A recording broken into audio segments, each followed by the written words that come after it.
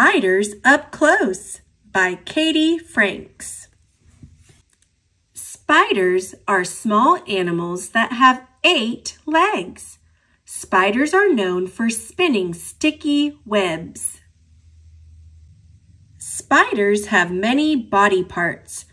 A few of these parts are the mouth, eyes, legs, stomach, heart, and spinnerets.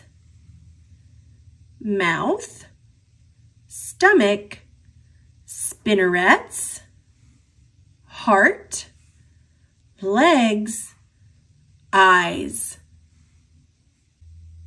The spinnerets are special body parts on the underside of a spider. Spiders use their spinnerets to build webs. There are many steps to building a web. All webs start with just one thread. One, two, three, four, five, six. There are many different kinds of webs. This is an orb web. Each type of spider spins its own kind of web. Spiders use their webs to trap their food. Spiders eat bugs and small animals.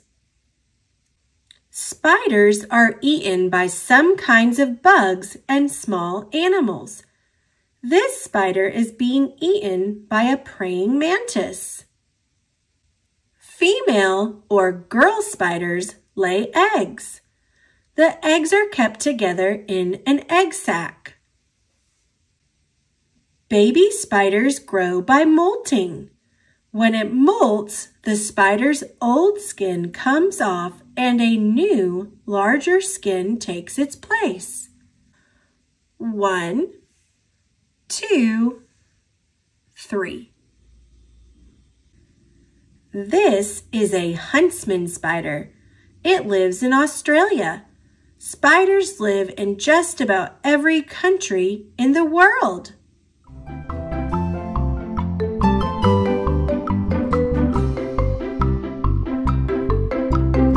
For watching. Click subscribe. See you later, alligator.